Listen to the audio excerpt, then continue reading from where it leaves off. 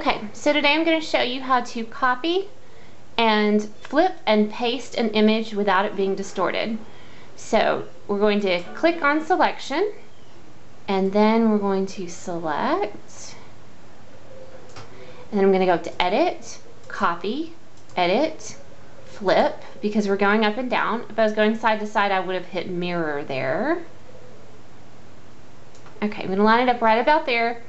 I see that it's a little distorted, so I'm going to show you how to fix that in a minute. We're going to go up here to edit, and I'm going to go ahead and paste it. But then before I click anything else, I'm going to go right over to pattern, shift. The one that usually works for me, I go down to the modifier is odd, and then here on shift beads, I go down, and then click done and then, okay, so that got rid of most of the distortion.